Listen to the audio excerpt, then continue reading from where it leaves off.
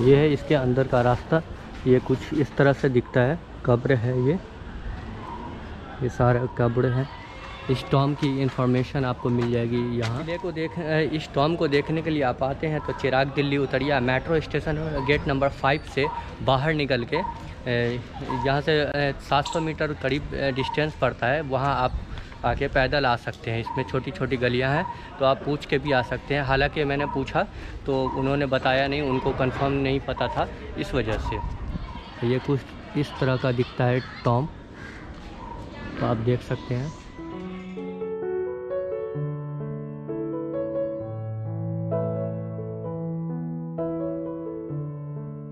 और मैं अंदर जाता हूँ तो ये कुछ इस तरह का दिखता है। ऊपर का स्ट्रक्चर आप देख सकते हैं इसके।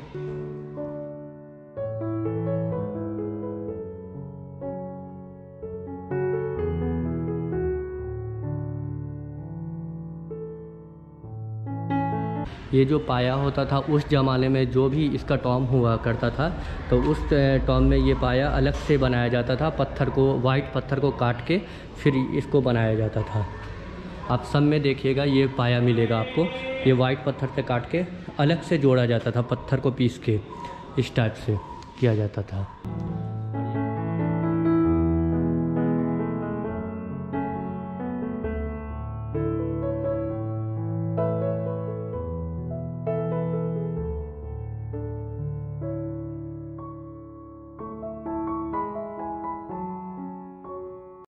ये है मेन कब्र जो बहलोल लोधी की है और ये उनके वाइफ की कब्र है और शायद ये उनके बेटे की कब्र है। ये श्योर नहीं है बट ये वाइफ की कब्र है। ये श्योर है। और ये एक गुंबद टाइप का बना हुआ ऊपर में। आप देख सकते हैं ये।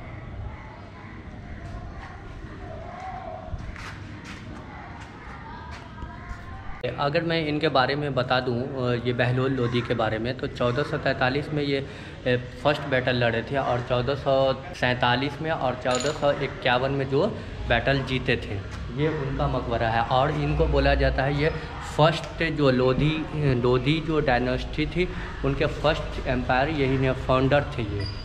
और अभी तो इसकी कंडीशन अच्छी नहीं है, बहुत ज़्यादा ही ख़राब हो चुकी है इसकी कंडीशन।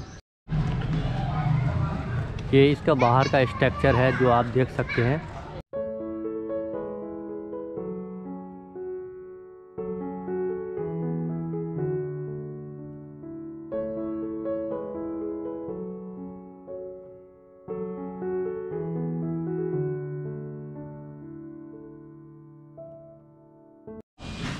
ये कुछ पीछे का स्ट्रक्चर है ये, बहलोल लोधी वाले, और कुछ भाई साहब खेल इसमें।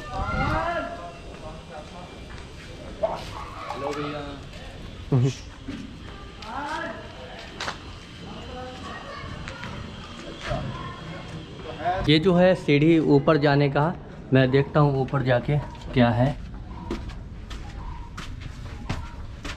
ऊपर जाने का ये रास्ता है। ये टॉम देखता हूँ। ओ भाई, ये कुछ इस तरह से दिखता है। बड़े बड़े गुंबद।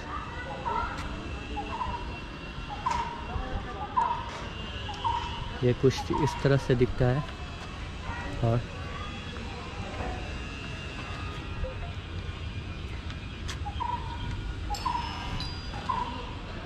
यहाँ इस टॉम को मेंटेन नहीं किया जाता है। काफ़ी ज़्यादा गंदगी है इस टॉम में। अभी अभी साफ़ सफ़ाई नहीं किया गया है इस टॉम में।